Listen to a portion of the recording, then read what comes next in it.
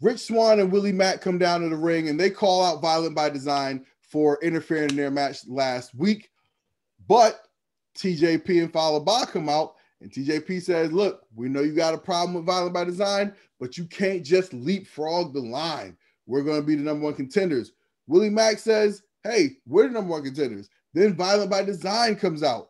Teams get ready to face off. Everybody's in the ring. You know, it looks like a fight's about to break out.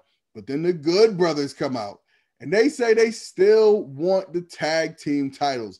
Then they get in the ring, and we got all four teams. Yeah, having a what do you call that? A, a Mexican showdown. okay, and uh, um, and then Tommy Dreamer comes out. He says all four teams will be in a four way at Slammiversary, and he makes a match for tonight against uh, with Rich Swann versus Karl Anderson versus Deaner versus TJP. Uh, Karl Anderson gets the pin on Deaner for the win. All right, what'd you think about this?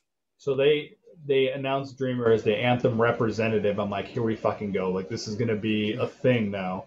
Um, I was very concerned. I mean, not concerned. I was confused why Deaner was in this match because I would imagine he's not defending the title at Slammiversary. But then I realized when they announced next week's match, they paired the four guys who were most built like each other, and then mm. next week is their larger partners. Yeah, you know, like a Haas match, so to speak. So I said, you know what? I like that. Yeah, it made me appreciate this match more, and it makes me look forward to next week's because it was just I just like the way they put it together. As far as everyone come, when Swann at first came out, I'm like, cool, I'm sign me up for this shit. I should have known they're going to get as many people onto the card as possible. Um, the thing is, the Good Brothers haven't beat anybody in for, forever. They've been losing actually. Um, Swann and Willie Mack haven't even teamed up in forever, so they haven't beat anybody. Um, TJP and Fallah Bahh haven't teamed up forever, haven't really beat anybody. You know what I'm saying? So it's just a bunch of people just thrown into a match. They're not, but no one in the tag division gets hot or beats anybody. So it's not like you could put Triple XL or uh, a couple of you know. I'm trying to think what other team they have. Um, bring Reno Scum back.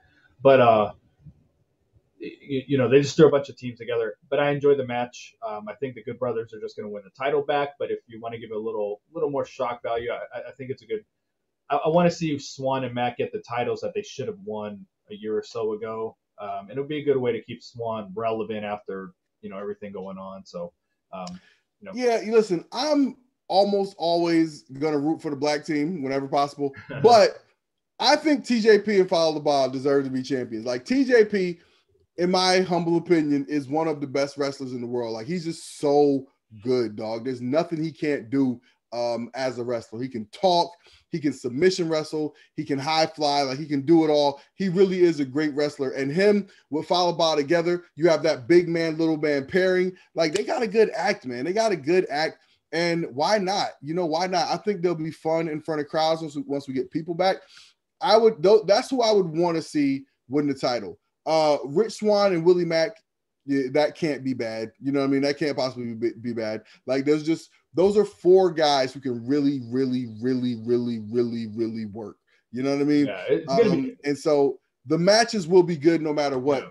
I just would like to see, like, man, what is so hard about taking all four of those teams and having them beat other teams Find, go go get you eight jobbers, eight local jobbers, put together some teams, and have the the four teams you're talking about all take turns beating these teams for weeks, then cutting promos, uh, and so we we get to you know get to see these teams and get to feel their personality.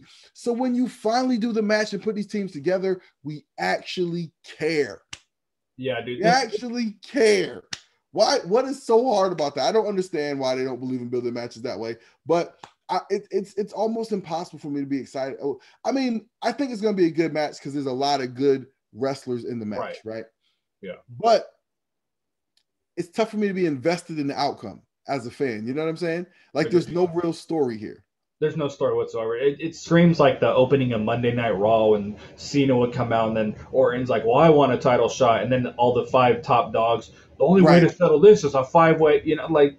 right, exactly. Just straight out the book, man. Um, You're going to have a tag team match with The Undertaker, player. Yeah. oh shit, those were good days, man. That was the, the same thing every week. yeah.